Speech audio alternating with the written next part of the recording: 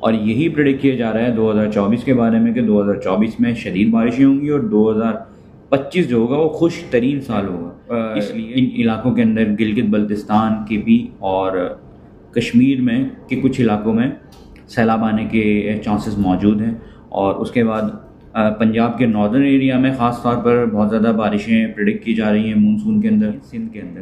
اس لیے سندھ کو سیلاب سے بہت زیادہ خطرات موجود ہیں۔ اور اس لہٰذا آپ سب سے گزارش ہے کہ پرسنل کیپیسٹی میں آپ جتنی جو ہے وہ حفاظتی اقدامات کر سکتے ہیں، وہ ابھی سے کرنا شروع کر دیں اور یہی ہماری گورنمنٹ سے بھی۔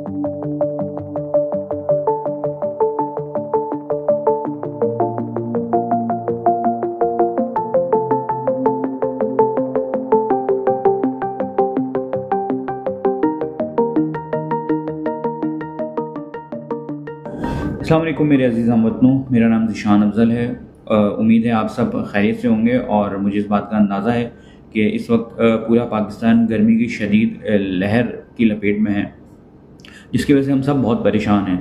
لیکن آئندہ آنے والے دن ہمارے لیے موسمیاتی تبدیلی کے حوالے سے زیادہ پریشان کن ہو سکتے ہیں۔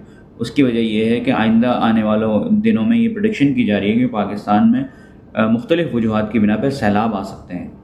آئیے اس کے اوپر ڈسکس کرتے ہیں۔ جیسا کہ آپ سب کو پتہ ہی کہ بہت جلد پاکستان میں مونسون سیزن سٹارٹ ہونے جا رہا ہے اور اس بار یہ پروڈکشن کی جا رہی ہے کہ دو ہزار چوبیس میں عام طور کی نسبت زیادہ بارشیں جو ہے وہ پرڈکٹ کی جا رہی ہیں، جس کی وجہ سے پاکستان کے مختلف علاقوں میں مونسون زیادہ ہونے کی وجہ سے سیلاب آ سکتے ہیں۔ اس کے علاوہ لکیلی کے پی کے اور گلگت بلتستان اور کشمیر میں بارشیں تو نارمل ہوں گی، لیکن یہ ہے کہ وہاں ٹیمپریچر نارمل سے زیادہ رہنے کی وجہ سے وہاں گلیشیئرس بہت زیادہ تیزی کے ساتھ پگھلیں گے۔ اس کی وجہ سے گلیشیئرس پگھلنے کی ریزن کی وجہ سے ان علاقوں کے اندر گلگت بلتستان، کے بھی اور کشمیر میں کے کچھ علاقوں میں سیلاب آنے کے چانسز موجود ہیں۔ اور اس کے بعد پنجاب کے ناردرن ایریا میں خاص طور پر بہت زیادہ بارشیں پرڈکٹ کی جا رہی ہیں مونسون کے اندر۔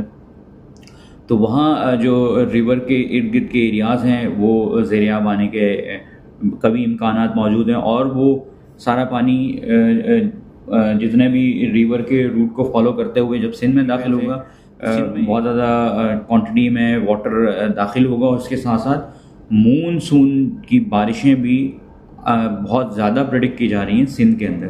اس لیے سندھ کو سیلاب سے بہت زیادہ خطرات موجود ہیں۔ اور اس کے ساتھ ساتھ اگر بلوچستان کی بھی بات کی جائے تو بلوچستان کے اندر کے بہت سارے اضلاع کے اندر بھی یہ پرڈکٹ کیا جا رہا ہے کہ مونسون کی بارشیں توقعات سے زیادہ ہونے کی وجہ سے بلوچستان کے بھی کئی اضلاع کے اندر سیلابی صورتحال ہمیں دیکھنے کو مل سکتی ہے۔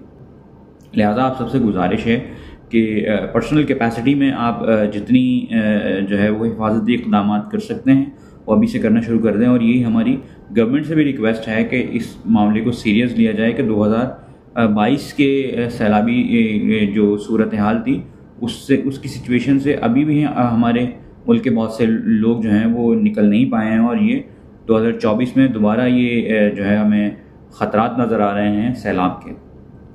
آئندہ ویڈیو کے اندر ہم اس حوالے سے بات کریں گے، ایسی کون سے جو ہیں وہ اقدامات ہیں جو کہ ٹیمپرری بیسس پہ پرسنل کیپیسٹی میں آپ لے سکتے ہیں اور گورنمنٹ کو جو ہے وہ ٹیمپرری بیسس پہ لینے چاہیے۔ اس کے ساتھ ساتھ ایسے کون سے اقدامات ہیں جو کہ پرماننٹ بیسس پہ اب ہمیں لینے چاہیے؟ کیونکہ آپ سب کو پتہ ہی ہے کہ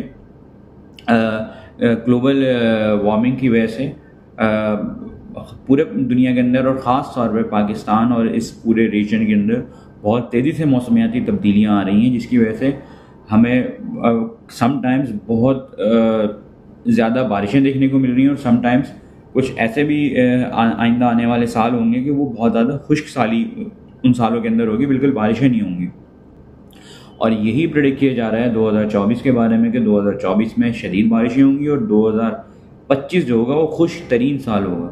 اس لیے یہ پلاننگ کرنا بہت ضروری ہے کہ جو اس وقت دو ہزار چوبیس میں ہمیں پانی مہیا ہوگا، اس کو ہمیں کچھ نہ کچھ کر کے اسٹور کرنا ہوگا تاکہ ہمارا دو ہزار پچیس بہتر طریقے سے گزر سکے۔ چلے ملتے ہیں نیکسٹ ویڈیو میں اور آپ سے ڈسکس کریں گے کہ ایسے کون کون سے جو ہیں وہ اقدامات ہیں یا اسٹیپس ہیں جو آپ لے سکتے ہیں in order to protect yourself from flood اور اس کے ساتھ ساتھ آپ پانی بھی اسٹور کر سکیں۔ تھینک یو سو مچ اللہ حافظ۔